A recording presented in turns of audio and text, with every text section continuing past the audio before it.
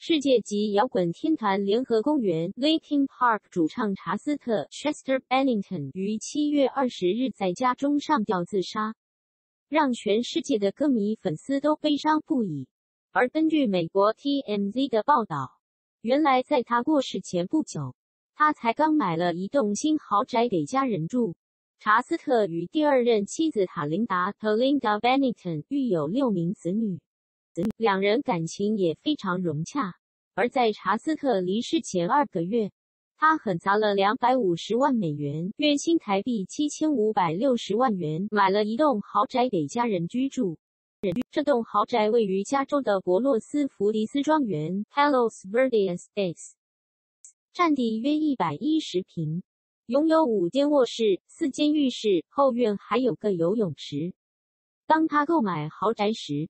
他还很开心的与友人分享乔迁的喜讯，也说了不少未来的计划。当时还看不出他有自杀的念头。在房子正式过户的前几天，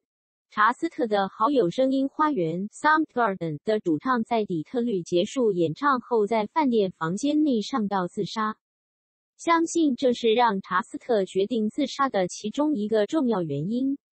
目前，查斯特的自杀动机还在调查当中。因为自杀现场只有一些空酒瓶，而没有留下遗书，家中也没有找到非法药物和处方药，初步判断无用药迹象，只能等验尸报告出炉才能知道多一些资讯。有人推测，年纪不过四十一岁的查斯特，因为小时候的阴影，